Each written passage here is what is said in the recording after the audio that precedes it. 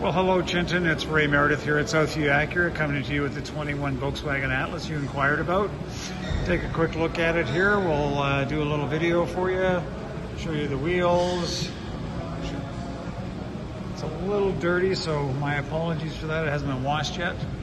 Anyways, here we go. Take a look around at the body. And we'll do the back end for you as well.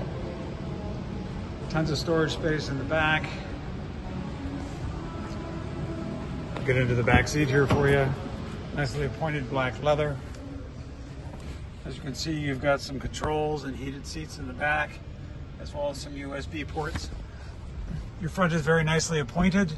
Uh, as you can tell, uh, just as an FYI, there is a deal written on this, but it has not been approved. So if you are interested, please give me a call ASAP.